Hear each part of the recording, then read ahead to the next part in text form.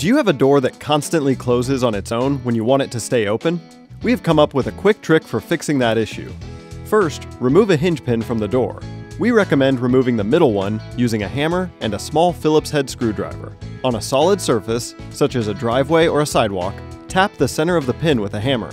The goal is to create a very slight bend in the pin.